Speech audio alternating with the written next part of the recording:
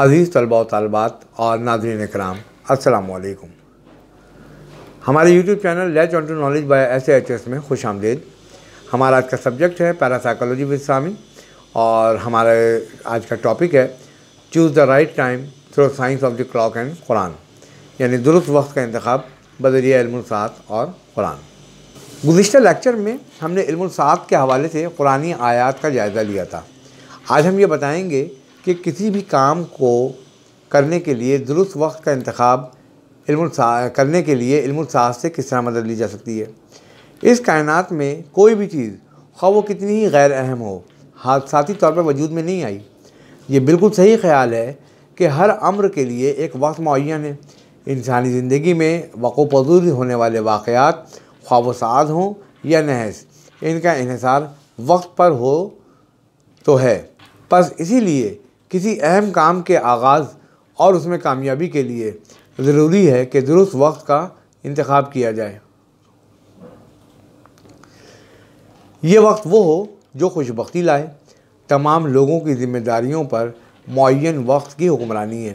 اسی وجہ سے ہمارے لیے اشد ضروری ہے کہ تمام کاموں کو شروع کرنے سے پہلے ہم سعد وقت کا انتخاب کریں۔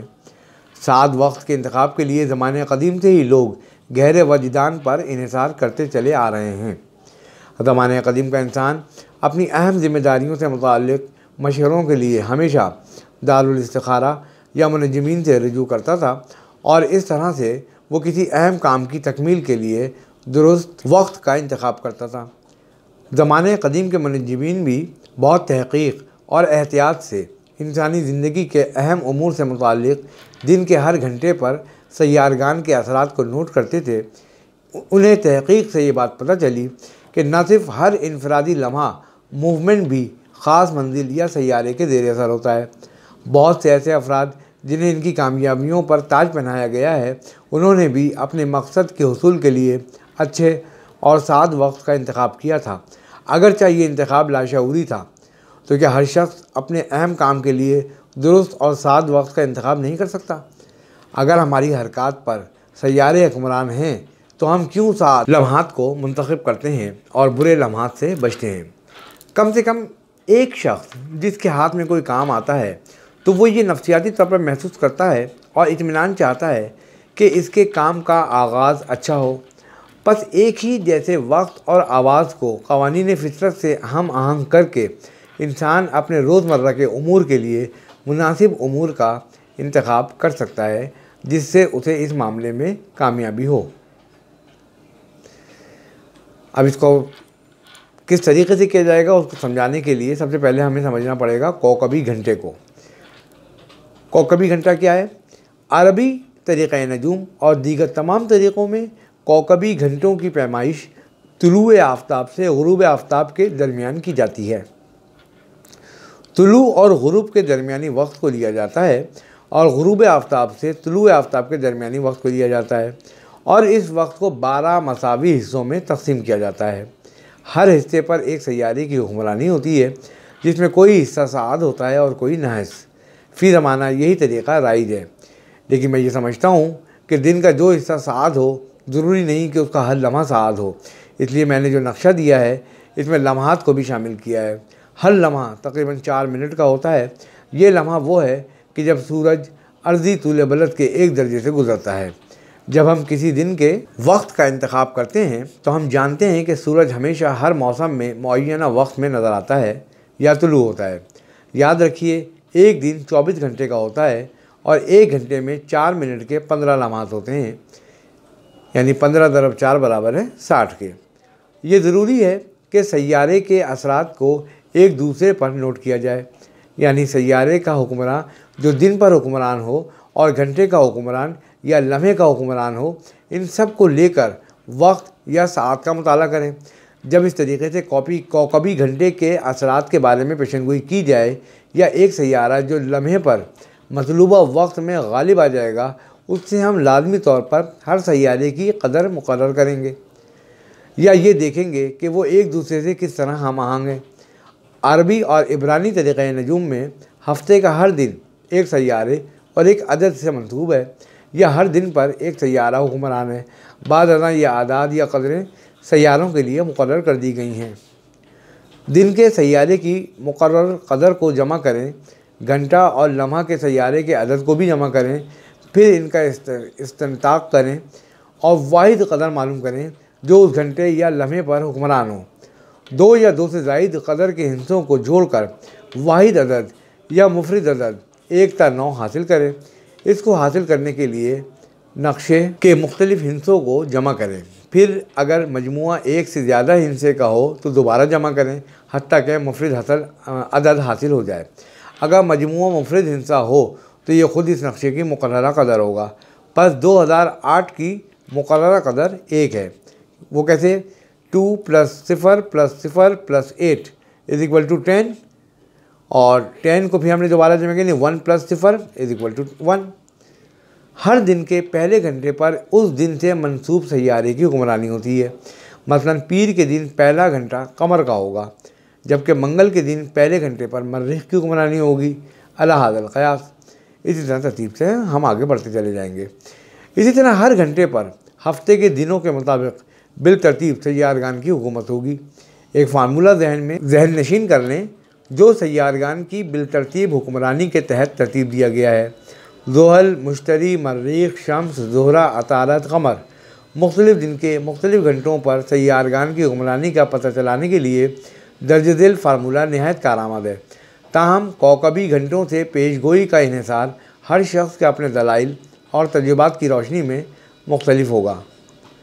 کوکبی گھنٹوں اور ہفتے کے دنوں کے نام کا نقطۂ آغاز۔ تمام ممالک اور تمام طریقہ کار میں تجنیمی اختراجات کا انحصار سیارگان کی عرضی مرکزی ترتیب پر ہے۔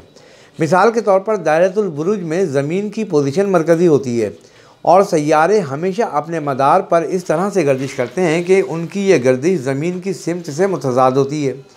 عرضی مرکزی ترتیب میں سیارگان کا سلسلہ ہمیشہ زحل مشتری، مریخ، شمس، زہرہ، عطالت اور قمر کا ہوتا ہے۔ ایک دن چوبیس حصوں پر منقسم ہوتا ہے۔ ہر چوبیسواں حصہ ایک گھنٹے پر مشتمل ہوتا ہے۔ ہر گھنٹے پر ایک سیارہ حکمران ہوتا ہے اور ہر چوبیس گھنٹے میں سیاروں کی ترتیب سات ضرب تین برابر اکیس ہوتی ہے، جو تین مرتبہ آتی ہے۔ تین اور سیارے زحل مشتری، مریخ چوتھی ترتیب میں آتے ہیں، جو بقیہ تین گھنٹوں پر حکمران ہوتے ہیں۔ چار سیارے جیسے شمس دوسرے دن کے پہلے گھنٹے کا حکمراں ہوتا ہے، پس دیگر چار سیارے دن کے حکمراں کے شروع ہونے کے بعد اسی ترتیب سے دوسرے دن کے آخر میں آتے ہیں۔ زحل پہلے دن کے پہلے دور کا حکمران ہے، جسے ہم ہفتہ یا سینیچر کا دن کہتے ہیں۔ دیگر چار سیارے، مثلا شمس جو دوسرے دن کا حکمران ہے، وہ دن اتوار ہے۔ شمس سے چوتھا سیارہ قمر ہے، جو تیسرے دن کے پہلے حصے پر حکمران ہے، اسے پیر کا دن کہتے ہیں۔ کسی بھی دن کے ہر گھنٹے پر ایک سیارہ حکمران ہے۔ اس لیے ہم ہر گھنٹے کو کوکبی گھنٹہ کہتے ہیں۔ اس تشریح سے یہ بات واضح ہوتی ہے کہ ہفتے کے سات دنوں کے ساتھ، ہفتے کے سات دنوں کے نام ان سیاروں پر رکھے گئے ہیں جو پہلے دن کے پہلے حصے پر حکمران ہیں۔ اتوار پر شمس حکمران ہیں، پیر پر قمر، منگل پر مریخ، بدھ پر عطارت جمعرات پر مشتری، جمعے پر زہرہ اور ہفتے پر زحل حکمران ہیں۔ سیارگان کی قدر، ترتیب، فطری موافقت اور مخالفت۔ قدیم کلدانیوں اور مصریوں نے ہر سیارے کی عددی قدر مقرر کی تھی۔ فیثاغورس نے اس طریقہ کار کو بہتر بنایا اور اس سائنس کو ان خطوط پر ترتیب دیا جو روزمرہ زندگی میں موافق ثابت ہوں۔ اعداد کی سائنس کا انحصار بھی علم نجوم پر ہے۔ علم العداد اور علم نجوم کو ملا کر ہم جلد اور درست نتائج معلوم کر سکتے ہیں۔ حقیقت میں یہ کہا جا سکتا ہے کہ اعداد کی سائنس علم نجوم کے ساتھ ساتھ علم الحساب سے بھی تعلق رکھتی ہے۔ سیارگان کے اعداد کی ترتیب یوں ہیں شمس ایک نمبر مثبت ہے اور چار نمبر منفی ہے۔ قمر کا سات نمبر مثبت اور دو نمبر منفی ہے۔ عطارت کا نمبر پانچ ہے، مشتری کا تین، مریخ کا نو زہرہ کا چھ اور زحل کا آٹھ۔ تمام استخراجات میں شمس اور قمر کے مثبت اور منفی پہلوؤں کو پیشگوئی کے وقت مد نظر رکھا جاتا ہے۔ مثبت کے عادات خوشبختی یا سعادت اور منفی عادات بدبختی یا نحوستوں کو ظاہر کریں گے۔ کچھ ماہرین اعداد عدد چار کو یورینس اور عدد سات کو نیپچون سے بھی منسوب کرتے ہیں۔ کوکبی گھنٹہ جس وقت شروع ہوگا، وہ دوسرا گھنٹہ شروع ہونے تک برقرار رہے گا۔ ہفتے کے دنوں کے نام تمام زمانوں میں، تمام زبانوں میں سیارگان کی بنیاد پر رکھے گئے ہیں۔ ترتیب سیارگان کی ترتیب اس طرح ہے جیسے کہ علم نجوم میں ہے۔ پس زحل ہمیشہ ایک طاقتور اور نہر سیارہ سمجھا گیا ہے، جو محدود کرتا ہے سرد مہری لاتا ہے خیالات اور تصورات کو واضح کرتا ہے۔ فلسفیانہ فطرت کا حامل ہے۔ مشتری سعد اکبر سیارہ ہے۔ عروج، گرم جوشی، مہنگائی، امید اور رجائیت پسند بناتا ہے۔ مری نہ سے ازغر سیارہ۔ حدت، قوت، توانائی اور شہوت پر حکمران ہے۔ شمس حیات بخش سیارہ ہے۔ اقتدار، توانائی اور قوت عطا کرتا ہے۔ زہرہ سعد ازغر ہے۔ ہم آہنگی، پاکیزگی، روحانیت اور انتہائی خوشی پر حکمران ہے عطارد، اسے خدا کا پیامبر کہتے ہیں۔ بے صنف، دماغ کا استاد، ذہانت، وجدان اور اظہار کا نمائندہ ہے۔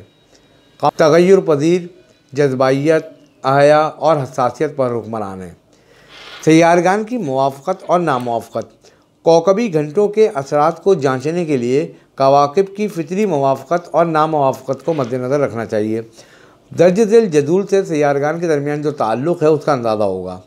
سیارگان کے اثرات کو جانچنے کے لیے مزید علم نجوم کی ضرورت نہیں ہے۔ کواقب ان کے دوست، ان کے مساوی اور ان کے دشمن۔ یعنی شمس جو ہے، قمر، مریخ اور مشتری اس کے دوست ہیں۔ عطارت مساوی ہے اور زہرہ اور زحل دشمن ہیں۔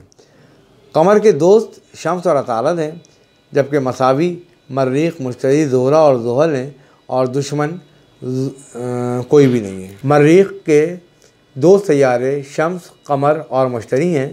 مساوی زہرہ اور زحل ہیں، جبکہ دشمن عطارد ہے مریخ کے دو سیارے شمس اور زہرہ ہیں، جبکہ مساوی میں مریخ، مشتری اور زحل آتے ہیں، جبکہ قمر جو ہے وہ دشمن ہے۔ مشتری کے دو سیاروں میں شمس، قمر اور مریخ ہیں۔ مساوی میں زحل ہے، جبکہ دشمنی میں عطارد اور زہرہ آتے ہیں۔ زہرہ کے دو سیارے عطارد اور زحل ہیں، مساوی مریخ اور مشتری ہیں، جبکہ دشمن میں شمس و قمر آتے ہیں۔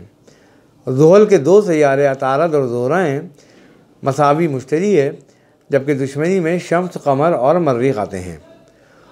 تو عزیز طلبہ و طالبات، درست وقت کا انتخاب بدریہ علم الساعت ابھی جاری ہے۔ آپ تک کے لیے اتنا ہی کافی ہے، انشاءاللہ زندگی رہی تو اس موضوع پر مزید گفتگو کریں گے۔ ابھی دعا کے ساتھ اجازت چاہتا ہوں کہ اللہ تعالیٰ آپ کو آسانیاں عطا فرمائے۔ اور آسانیاں بانٹنے کی توفیق عطا فرمائے۔ آمین۔ اللہ حافظ۔